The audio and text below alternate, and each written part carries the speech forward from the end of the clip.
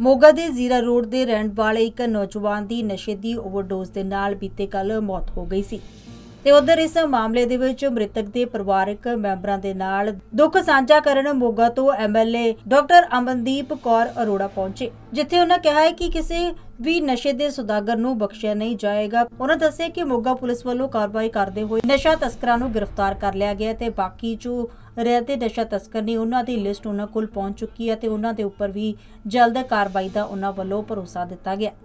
ਅਸੀਂ ਅਪੀਲ ਕੀਤੀ ਸੀਗੀ ਮੋਗਾ ਨਿਵਾਸੀਆਂ ਨੂੰ ਬੜੇ ਪਿਆਰ ਦੇ ਨਾਲ ਬੇਨਤੀ ਕੀਤੀ ਸੀਗੀ ਕਿ ਜਿੰਨੇ ਵੀ ਨਸ਼ਾ ਵੇਚਦੇ ਆ ਪਲੀਜ਼ ਬੰਦ ਕਰ ਦਿਓ ਨਹੀਂ ਤਾਂ ਸਖਤ ਕਾਰਵਾਈ ਕੀਤੀ ਜਾਊਗੀ।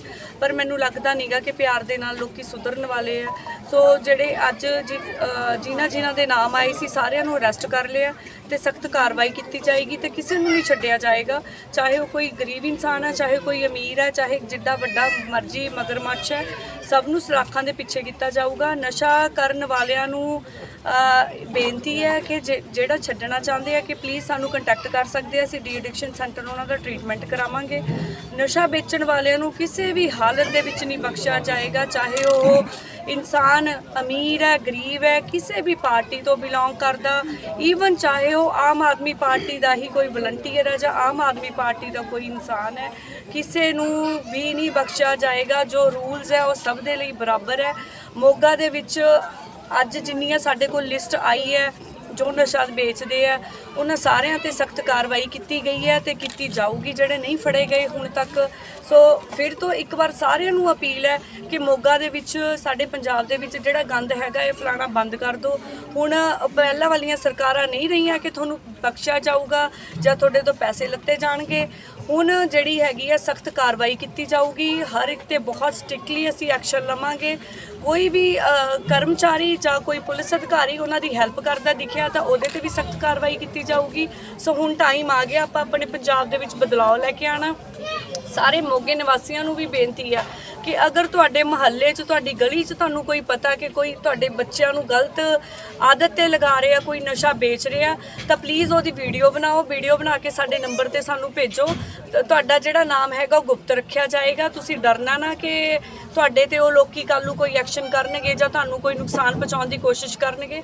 ਤੁਹਾਡਾ ਨਾਮ ਗੁਪਤ ਰੱਖਿਆ ਜਾਏਗਾ ਬਟ ਨਸ਼ਾ ਕਰਨ ਜਿਹੜਾ ਨਸ਼ਾ ਵੇਚਦੇ ਆ ਉਹਨਾਂ ਨੂੰ ਕਿਸੇ ਵੀ ਹਾਲਤ ਦੇ ਵਿੱਚ ਕਿਸੇ ਵੀ ਰੂਪ ਦੇ ਵਿੱਚ ਬਖਸ਼ਿਆ ਨਹੀਂ ਜਾਊਗਾ। ਇਸ ਪ੍ਰਸ਼ਾਸਨ ਨੇ ਵੀ ਬਹੁਤ ਮਦਦ ਕੀਤੀ ਐਸਪੀ ਐਸਐਸਪੀ ਸਾਹਿਬ ਨੇ ਮਦਦ ਕੀਤੀ ਡੀਐਸਪੀ ਸਾਹਿਬ ਨੇ ਵੀ ਜਿੰਨੇ ਅ, ਜਿਨ੍ਹਾਂ ਦੇ ਨਾਮ ਆਏ ਸੀ ਉਹਨਾਂ ਨੂੰ ਆਲਰੇਡੀ ਅਰੈਸਟ ਕਰ ਲਿਆ ਗਿਆ ਤੇ ਹੋਰ ਵੀ ਜਿੰਨੇ ਨਾਮ ਆ ਗਏ ਸਾਰਿਆਂ ਨੂੰ ਅਰੈਸਟ ਕੀਤਾ ਜਾਊਗਾ ਤੇ ਕਿਸੇ ਨੂੰ ਕਿਸੇ ਵੀ ਹਾਲਤ ਦੇ ਵਿੱਚ ਬਖਸ਼ਿਆ ਨਹੀਂ ਜਾਊਗਾ ਤੇ ਜਿੰਨੀਆਂ ਸਾਡੇ ਕੋਲ ਲਿਸਟਾਂ ਆ ਰਹੀਆਂ ਨੇ ਵੇਚਣ ਵਾਲਿਆਂ ਦੀ ਸਾਰੇ ਸਾਰਿਆਂ ਨੂੰ ਅਰੈਸਟ ਕੀਤਾ ਜਾਊਗਾ ਵਿਦਿਨ ਫਿਊ ਡੇਜ਼ ਕਿਉਂਕਿ ਜਦੋਂ ਅਸੀਂ ਆਹ ਹੁਣ ਡਰੱਗਸ ਬੰਦ ਕਰਵਾ ਰਹੇ ਆ ਤਾਂ ਬਹੁਤ ਸਾਰੇ ਬੱਚੇ ਆ ਜਿਹੜੇ ਡਰੱਗਸ ਤੇ ਲੱਗੇ ਹੋਏ ਆ ਉਹਨਾਂ ਨੂੰ ਆਫ ਕੋਰਸ ਟ੍ਰੀਟਮੈਂਟ ਦੀ ਜ਼ਰੂਰਤ ਪਊਗੀ। ਸੋ ਉੱਥੇ ਪੂਰਾ ਟ੍ਰੀਟਮੈਂਟ ਜਿਹੜਾ ਹੈਗਾ ਬਹੁਤ ਅੱਛੀ ਤਰ੍ਹਾਂ ਦਿੱਤਾ ਜਾਊਗਾ ਪ੍ਰੋਪਰ ਢੰਗ ਨਾਲ ਮੈਡੀਸਨ ਵਗੈਰਾ ਉੱਥੇ ਨਹੀਂ ਮੈਡੀਸਨ ਨਹੀਂ ਉੱਥੇ ਅਵੇਲੇਬਲ ਨਹੀਂ ਹੁੰਦੀ ਸਰ ਉਹ ਅਵੇਲੇਬਲ ਕਰਵਾਈ ਜਾਊਗੀ ਜੀ ਸਾਰੀ ਮੈਡੀਸਿਨ ਮਿਲੇਗੀ ਉੱਥੇ ਹੀ ਮਿਲੇਗੀ ਸਾਰੀ ਮੈਡੀਸਿਨ ਮੈਡਮ ਜਿਹੜਾ ਨਸ਼ੇ ਦੀ ਗੱਲ ਹੋ ਰਹੀ ਹੈ ਸਾਧਾਂ ਵਾਲੀ ਬਸਤੀ ਦੇ ਵਿੱਚ ਸਿਟੀ ਸਾਊਥ ਦੇ ਵਿੱਚ ਪ੍ਰਕਾਸ਼ ਨਾਂ ਦਾ ਟਾਊਟ ਹੈ ਪੁਲਿਸ ਦਾ। ਉਹ ਆਪ ਜਾ ਕੇ ਉੱਥੇ ਨਸ਼ਾ ਵਿਕਵਾਉਂਦਾ ਔਰ ਸ ਪੁਲਿਸ ਉਹਦੇ ਵਿੱਚ ਇਨਵੋਲਵ ਹੈ ਸਰ, ਉਹਨਾਂ ਤੇ ਵੀ ਕਾਰਵਾਈ ਕਰ ਦਿੱਤੀ ਗਈ ਹੈ। ਉਹਨਾਂ ਦੇ ਬਾਰੇ ਪਤਾ ਚੱਲਿਆ ਸੀਗਾ। ਸੋ ਉਹਨਾਂ ਨੂੰ ਵੀ ਸਖਤ ਹਦਾਇਤਾਂ ਦੇ ਦਿੱਤੀਆਂ ਗਈਆਂ ਨੇ ਕਿ ਪੁਲਿਸ ਸਟੇਸ਼ਨ ਦੇ ਵਿੱਚ ਉਹਨਾਂ ਦੀ ਐਂਟਰੀ ਨਹੀਂ ਹੋਏਗੀ ਤੇ ਜੋ ਵੀ ਇਦਾਂ ਦੇ ਹਰਕਤਾਂ ਕਰਨਗੇ ਜਾਂ ਇਦਾਂ ਦੇ ਇ- ਚੀਜ਼ਾਂ ਦੇ ਵਿੱਚ ਇਨਵੋਲਵ ਹੋਣਗੇ, ਸਭ ਤੇ ਸਖਤ ਕਾਰਵਾਈ ਹੋਏਗੀ। ਚਾਹੇ ਉਹ ਕੋਈ ਪੁਲਿਸ ਦੇ ਅਫਸਰ ਹੈ, ਚਾਹੇ ਪੁਲਿਸ ਦਾ ਕੋਈ ਕਰਮਚਾਰੀ ਹੈ, ਅਧਿਕਾਰੀ ਨੇ, ਸਭ ਤੇ ਸਖਤ ਕਾਰਵਾਈ ਹੋਏਗੀ।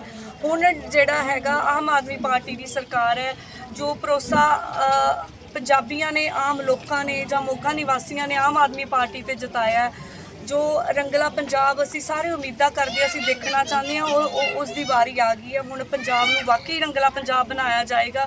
ਕਿਸੇ ਤਰ੍ਹਾਂ ਦੀ ਕਰਪਸ਼ਨ ਦੀ ਹੁਣ ਇੱਥੇ ਕੋਈ ਜੜ ਨਹੀਂ ਰਹੇਗੀ। ਕਰਪਸ਼ਨ ਜ਼ੀਰੋ ਲੈਵਲ ਤੋਂ ਜਿਹੜੀ ਹੈਗੀ ਆ ਖਤਮ ਕੀਤੀ ਜਾਊਗੀ।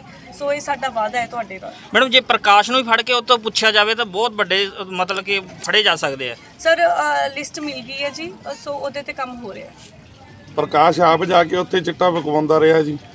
ਸਰ ਲਿਸਟ ਜਿਹੜੀ ਹੈਗੀ ਆ ਉਹ ਆ ਗਈ ਹੈ। ਉਹਦੇ ਤੇ ਸਾਰੀ ਜਿੰਨੀ ਸਾਡੇ ਕੋਲ ਨੇਮਸ ਆਏ ਆ ਅੱਜ ਮਾਰਨਿੰਗ ਉਹ ਸਾਰਿਆਂ ਨੂੰ ਫੜਿਆ ਜਾਊਗਾ ਸਾਰਿਆਂ ਨੂੰ ਅਰੈਸਟ ਕਰਿਆ ਜਾਊਗਾ। ਜਿੰਨੇ ਵੀ ਦੋਸ਼ੀ ਹੋਣਗੇ ਸਾਰਿਆਂ ਨੂੰ ਅਰੈਸਟ ਕਰਕੇ ਸਖਤ ਤੋਂ ਸਖਤ ਜਿਹੜੀ ਹੈਗੀ ਹੈ ਸਜ਼ਾ ਉਹਨਾਂ ਨੂੰ ਦਿੱਤੀ ਜਾਊਗੀ। ਮੈਡਮ ਇਹ ਗੁਪਤ ਤਰੀਕੇ ਕਾਊਂਟਿੰਗ ਦੱਸ ਸਕਦੇ ਹੋ ਜੀ ਕਿੰਨੇ ਬੰਦੇ ਦੀ ਲਿਸਟ ਆਈ ਆ? ਸਰ ਉਹ ਤੁਹਾਨੂੰ ਲਿਸਟ ਦਿਖਾ ਕੇ ਫਿਰ ਦੱਸ ਦਿੱਤਾ ਜਾਊਗਾ। ਸਾਨੂੰ ਨਾਮ ਨਹੀਂ ਚਾਹੀਦਾ ਮੈਡਮ। ਸਾਨੂੰ ਕਾਊਂਟਿੰਗ ਚਾਹੀਦੀ ਹੈ ਕਿੰਨੇ quantity number of sir I think around 20 ਜਾਣਿਆਂ ਦੀ ਲਿਸਟ ਹੈਗੀ ਹੈ ਮੋਗੇ ਹੁਣ ਸ਼ਹਿਰ ਦੇ। ਮੋਗੇ ਸ਼ਹਿਰ ਦੇ ਵਿੱਚ 20 ਜਾਣਿਆਂ ਦੀ ਲਿਸਟ ਜਿਹੜੀ ਆਲਰੇਡੀ ਸਾਡੇ ਕੋਲ ਆ ਚੁੱਕੀ ਆ। ਸੋ 20 ਦੇ 20 ਲੱਖਾਂ ਦੇ ਪਿੱਛੇ ਹੋਣਗੇ ਹੁਣ ਦੇਖਣ ਵਾਲੀ ਗੱਲ ਹੋਵੇਗੀ ਕਿ ਇਸ ਮਾਮਲੇ ਦੇ ਵਿੱਚ ਬਾਕੀ ਰਹਿੰਦੇ ਨਸ਼ਾ ਤਸਕਰਾਂ ਦੇ ਉੱਪਰ ਕਦੋਂ ਤੱਕ ਕਾਰਵਾਈ ਹੁੰਦੀ ਹੈ ਤੇ ਕਦੋਂ ਤੱਕ ਉਹਨਾਂ ਨੂੰ ਕਾਬੂ ਕਰਕੇ ਸਲਾਖਾਂ ਦੇ ਪਿੱਛੇ ਦਿੱਤਾ ਜਾਂਦਾ ਹੈ। Bureau report Jagbani TV.